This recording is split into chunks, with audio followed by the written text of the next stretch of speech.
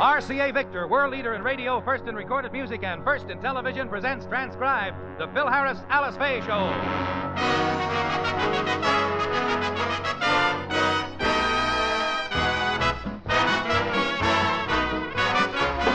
For your enjoyment, here is the Phil Harris Alice Faye Show, written by Ray Singer and Dick Chevillat, with Elliot Lewis, Walter Tetley, Robert North, Janine Roos, Ann Whitfield, Walter Scharf in his music, and yours truly, Bill Forman. Some people can handle success gracefully, others become obnoxious. But Phil Harris has a way all his own. More about that later, but first a word from RCA Victor. Here's wonderful television news. Just in time for the election telecast, RCA Victor adds a great new set to its line of low priced quality television. Now, RCA Victor introduces the Crandall. The new Crandall is big picture television. 21 inch RCA Victor television at a new low price. You can actually own the Crandall for as little as $259.95, slightly higher in the far west and south. And the Crandall will bring you clearer pictures on its huge 21 inch picture tube. Because, like all new RCA Victor television, it has the Magic Monitor circuit system. The Magic Monitor acts like an engineer inside your set. It screens out static automatically, steps up power automatically, and automatically ties the clearest picture to the best sound. Visit your dealer tomorrow. See the Crandall. It's brand new. It's RCA Victor's lowest priced 21 inch television set. And while at your dealers, be sure to see the entire line of new RCA Victor television. Prices start at only $199.95. Remember, every year more people buy RCA Victor than any other television. And when you select RCA Victor television, buy an RCA Victor factory service contract for expert installation and service. And now the stars of the RCA Victor program, Alice Faye and Phil Harris.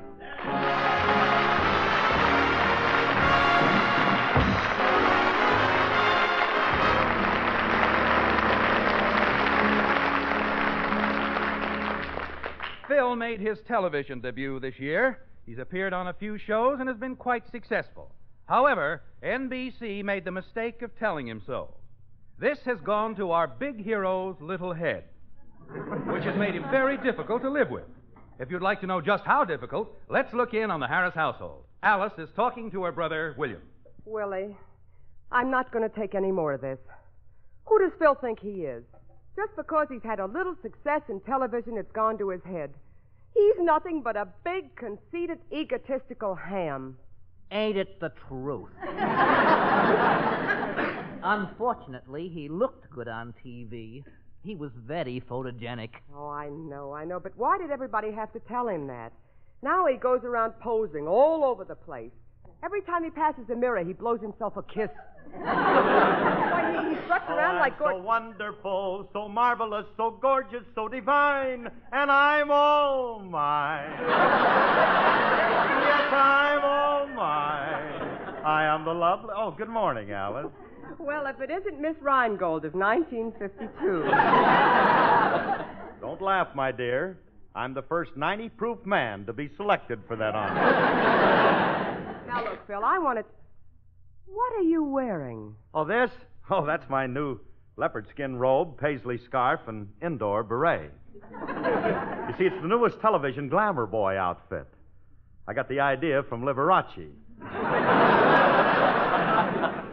Philip, you've got to stop acting like this. Ever since you've been on television, you're, you're, you're full of affectations. What affectations? TV hasn't changed me at all.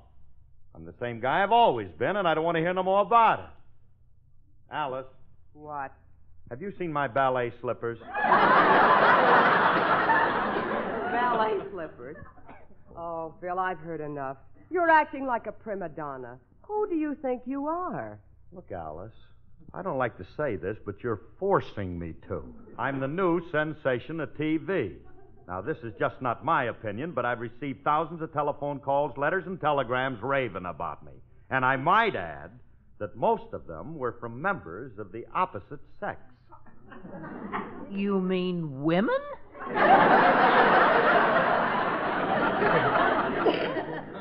No, mud hens. Of course I mean women. I get letters from girls all over the country, and you should hear the way they rave about me. They like you? Like me? Let's face it, kid, I'm the greatest thing that's happened to the American working girl since the 10 minute rest period.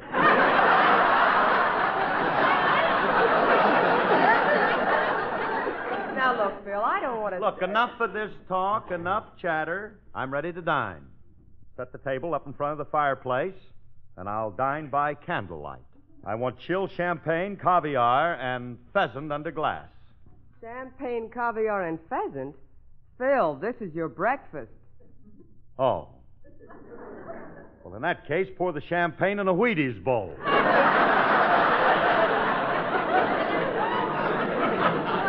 Please come down to earth and take off that silly leopard skin robe. I will not. This leopard skin robe is a beautiful garment, and I, I'll get that.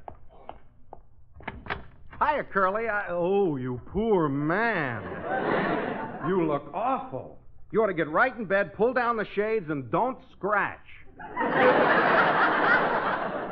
Look, don't tell me not to scratch. I'm a big man. If I want to scratch, I'll scratch. What do you mean I look awful? I think I look very attractive in my leopard skin robe. Is that what it is?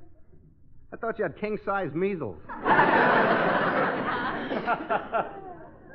How droll. Come on inside. Hey, Curly, what'd you call me over for? You said you wanted to talk. Hello, talk. Elliot. Hi, Alan. Did you see my last TV appearance? I sure did. And I got to admit one thing, Curly. You certainly look different on television. You look much younger. That's because I've been taking care of myself. You have to look good in this new medium. You certainly do. It's amazing. You look better in person, too. You can't see the wrinkles in your face anymore. Let me look closer. Don't touch it, you'll crack the putty. It ain't putty. He's right, Alice. It ain't putty. He filled the cracks in with strips of bacon rind. Matches his complexion much better. All right, don't get comical, you two. My wrinkles are gone because I've been taking care of myself. Now, do you notice anything else that's different about my face? Well, let me see. Yeah, your double chin. It's gone. How'd you get rid of that? That's a trade secret. Let me see if there's anything else different about you. What? Wait a minute. What's this lump in back of your neck? Well, as long as you've seen it, it's my other chin.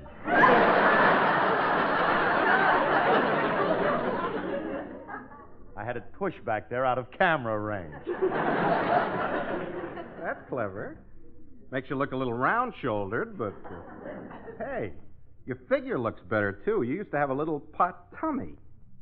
Where is it? Turn around, Phil, and show him your bustle.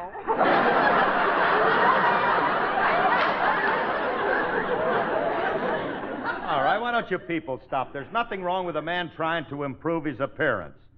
After all, with millions of people watching me. yeah, every- yeah, yeah. Look, Curly, you called me and you told me you want to see me. What'd you call me over here for? I'll tell you in due time. I have an announcement to make to you, Willie, Alice, and Julius. As soon as Julius gets here, I'll tell you. Well, what kind of announcement? I said you'll find out. All I can say is I'm going to do something that will make you all very happy. You're moving back to the Indian reservation?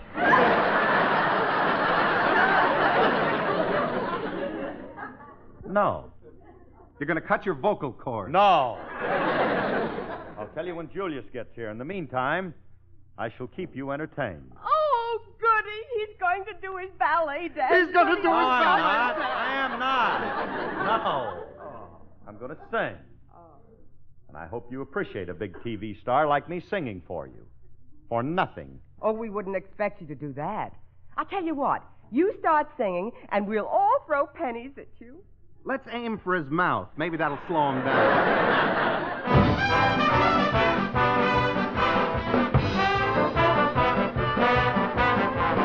Possibilities, possibilities. We're living in a world that's full of possibilities. Ain't no miracle too impossible for anyone that sees the possibilities. If you recall your history, then you will find that all its famous men turned out to be the kind of men who never stop to look behind. They looked ahead to see what they could see, and they saw possibilities, possibilities. They never overlooked a single possibility. Proven naturally, opportunity is for the one who sees the possibilities. Each time you try to solve a new phenomenon, the skeptics say it's just a dream, I know. But after you're a hero and the job is done, then you can tell them all I told you so. Yes, there are possibilities, possibilities. If you will only make the most of your facilities, folks will idolize, even eulogize the little guy that sees the possibilities. When Christopher Columbus proved the world was round, he called Queen Isabel on his return. She said, Now tell me, Chris, about this place you found. He said, Well, Belle, as far as I'm concerned, it sure got possibilities. Possibilities. I tell you, Queen, I've never seen such possibilities. And I really feel we should make a deal before somebody sees its possibilities. When little Abe was growing up in Illinois, to be a big success was his intent. Studied so much harder than the other boys, till one day he became our president. He saw the possibilities, possibilities. He never overlooked a single possibility. Proven naturally, opportunity is for the one who sees the possibilities. I guess by now there ain't no doubt about the point I'm bringing out. So if you'll open up your eyes, you are bound to recognize the possibilities, possibilities. We're living in a world that's full of possibilities. Ain't no miracle too impossible for anyone who sees the possibilities.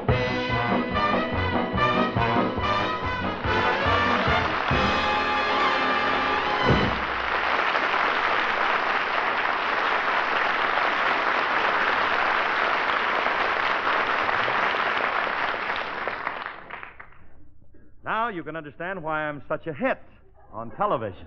Oh, yes, darling. Seeing you as well as hearing you is an experience that can't be matched. Isn't it, Elliot?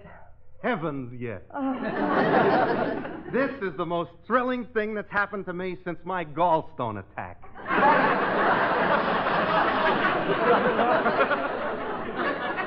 of course, that was more exciting, but this was more painful. All right.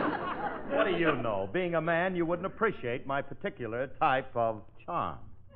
You see, I appeal to the girls, the lovely sex. They're running after me already, and I guarantee that two more television appearances, and every woman in the country will be leaving her husband. And I'll be the first.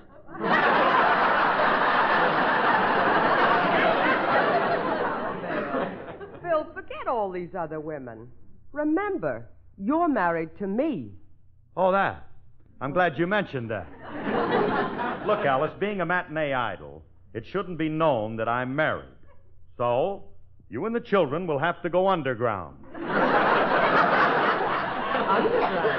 Not for long, just a year or two. Look, honey, I can't help it if women find me irresistible. I don't know what I've got. Perhaps it's the twinkle in my eye, or the dimple in my cheek, or the cleft in my chin. Or the soft spot in your head. Oh, you. How'd you get in here, Julius? I didn't hear you come in. I was very quiet. I was bringing the eggs you ordered, and when I entered, you were in the middle of your song. So I took off my shoes and tippy-toed in so as not to miss one glorious note. Julius, uh, you're being very sweet to me. Why? What's come over you? You're not fresh today. Neither are the eggs.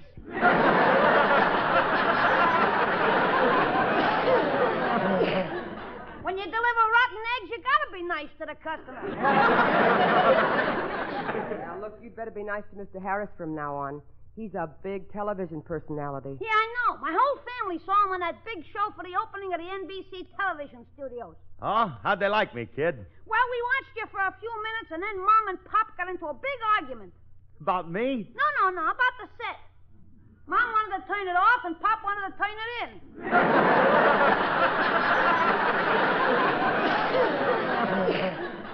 I don't have to take that from a rotten egg deliverer. Maybe you don't like my performance, but how'd you like the way I look? Dale, I must say you surprised me. As soon as your face came on the screen, the set seemed to light up. Then it started to smoke, then the tube blew out. All right, all right.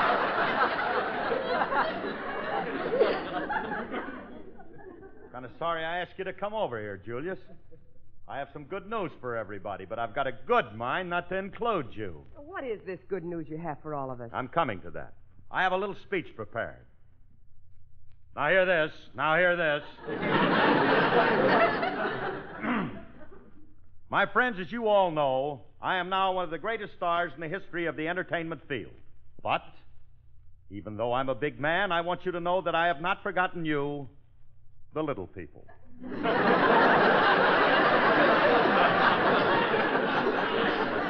no man is so great that he can do without the little people. and I want you to know that as I climb higher and higher, I am taking you little people with me.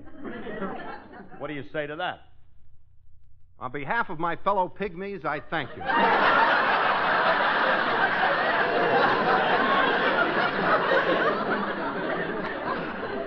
I knew you would appreciate it. Oh, Wonga, you so good to us jungle people. All hail the Phantom, goes to war. All Don't be funny. Now that I'm a big man, I'm giving each and every one of you a good job. Willie will be my bookkeeper. Alice, you'll be my social secretary. Elliot, you'll be my valet. And Julius, I want you to be at my side wherever I go. What for? In case I come to a mud puddle, I want you to lie down so I can walk over. Oh, goody, I've arrived. I'm going to be a pontoon bridge for Phil Harris.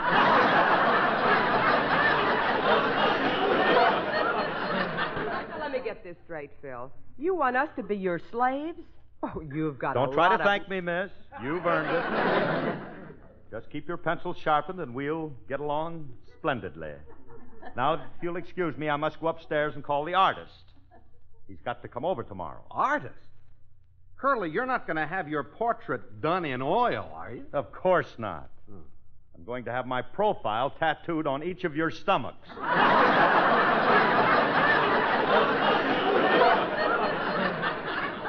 now, everyone to your posts. All right, snap to it. Look alive, everybody. Let's get with it. Let's go. I'll see you later. Oh, no. That guy's ripe for the squirrel squad. we got to do something about the big ape. I think the conceited jerk ought to be taken down a peg or two. Yeah, just because he's being seen on television, he thinks every woman in the country's crazy about him. Hey, wait a minute. Suppose his being seen by these women got him into trouble. What do you mean? Suppose some of his ex wives were to show up. What ex-wives? The ones we're going to hire. Oh. We'll hire a couple of women who'll pretend he was married to him years ago and deserted them. And they didn't know where he was until they saw him on television. That'll never work. Why not? Where are you going to find a dame stupid enough to admit she's married to him? Julius! I, I, I didn't mean you, Miss Faye. Well, it'll work.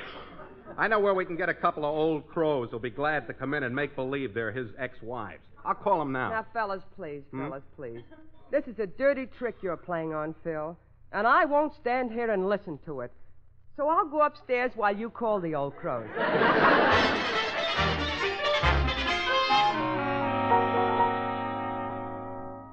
Elliot, Hmm? when will those women be here? They'll be here any minute. I briefed them and told them just what to say.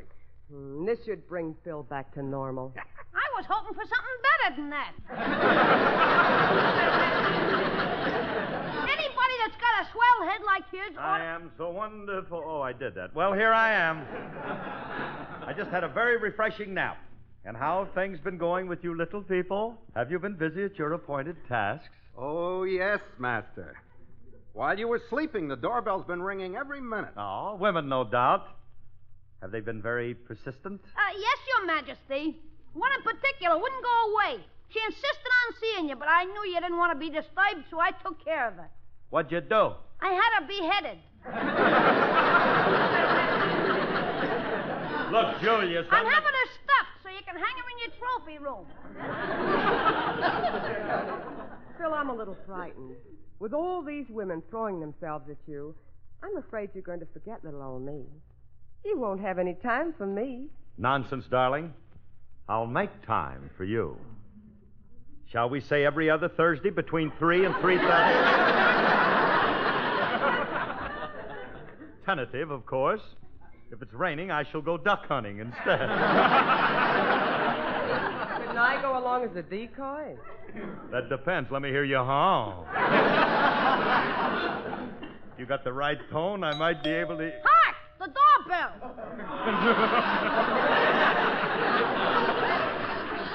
I wonder who that could be. We'll soon see. I will answer it, Master. Ah, there goes a wonderful manservant. Best doorbell answer I ever had. I may pension him. at- Sire, this lady wishes to see you. Come in, my dear. How do you do?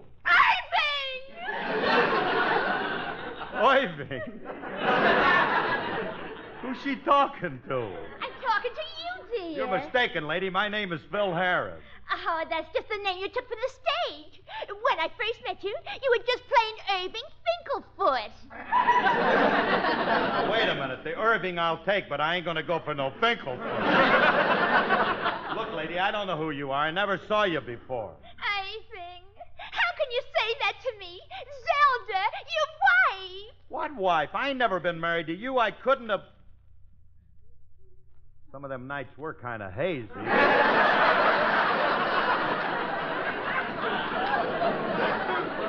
no, lady, I ain't drank that much. I know it.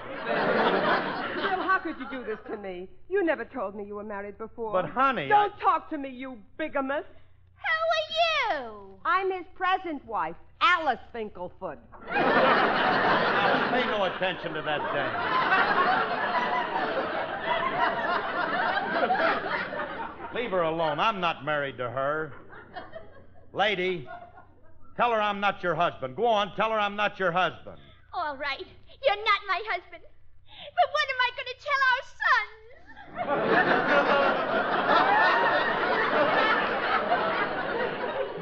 What sons? Morris and Seymour. yes. And you'll be proud of Seymour. He looks just like you. I don't care what he. He does? oh, that lucky little devil. Look, lady, what are you trying to do to me? What are you trying to do to me? You left me 18 years ago. And if I hadn't seen you on television, I'd never have known where you are. Bully for television. Look, I don't know who the, what this is all about. Believe me, I never. Come in. You know, there's only one woman I love, only one woman I'm married to. That's Elder Waldo. At last I found you. Kiss me, Wally. Some other time, lady, I'm busy. I'm busy. who are you anyway? Well, I'm your wife, Sadie. Just a minute. This man is not your husband. Don't tell me. I'd know Waldo sits bath any place. I'd love to hear you say that with her teeth.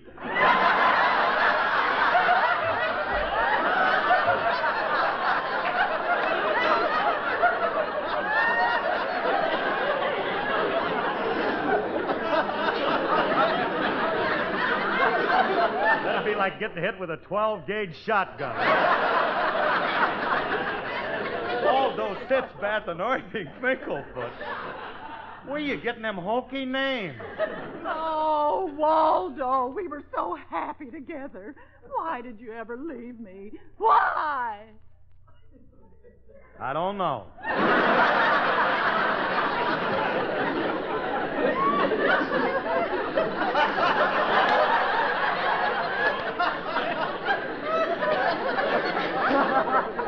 Just lucky, I guess.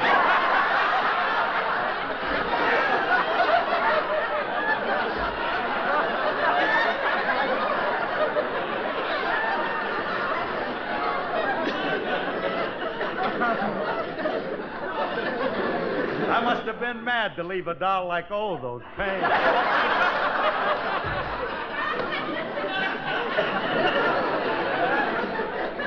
Sadie, I'm not your husband. I don't blame you for trying it, but I'm not Waldo. I'm Oid. I mean, I'm Phil. Oh, you're Waldo, all right. You can't fool me with that dye job. what dye job? You had the whites of your eyes dyed red.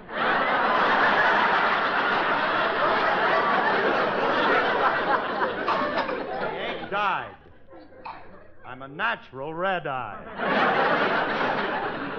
Oh, Waldo, it's so good to see you. And to think if I hadn't been watching that television show, I never would have found you.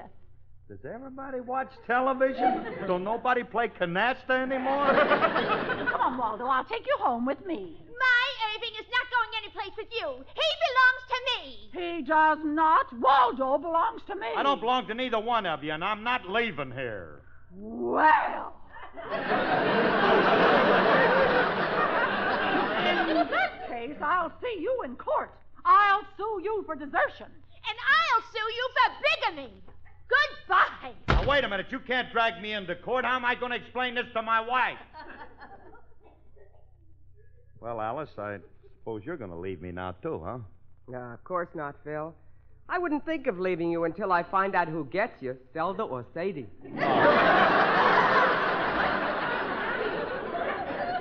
Cut it out, will you? Why do those dames pick on me? Oh, they probably couldn't help themselves, dear.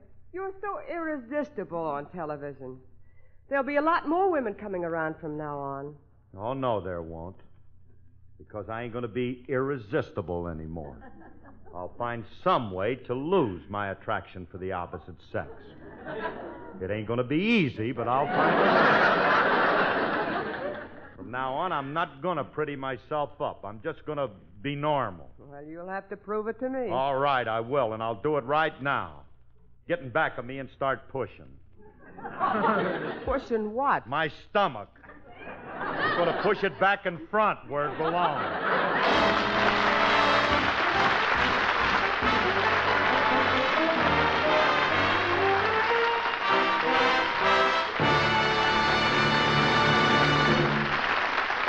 Alice and Phil will be back in just a moment.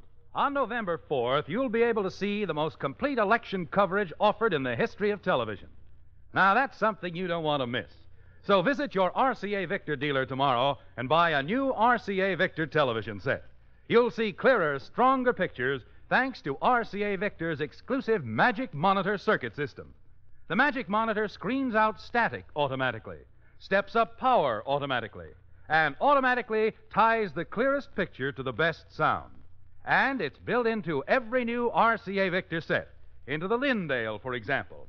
The Lindale is a handsome console with half doors that open on big 21 inch television. Yes, for a clearer picture of the election, select RCA Victor's 21 inch Lindale console. And remember, for the ultimate in television reception, city or country, ask about RCA Victor Television Deluxe at your dealers tomorrow.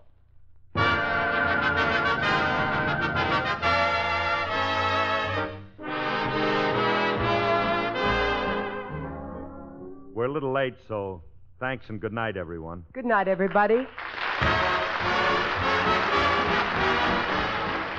Included in this program transcribed were Elvia Allman and Margie Liszt. The part of Julius was played by Walter Tetley. RCA Victor's new six in one children's albums are six times as much fun for the youngsters. They get a 45 or two 78 records with adventures of their favorites like Donald Duck and Captain Video. They get the story to read, pictures to color, punch out puppets of the story's characters so they can act out the show, and membership in the Little Nipper Club. Surprise your youngsters with an RCA Victor 6 in 1 children's album, only a dollar and five cents at your dealers now.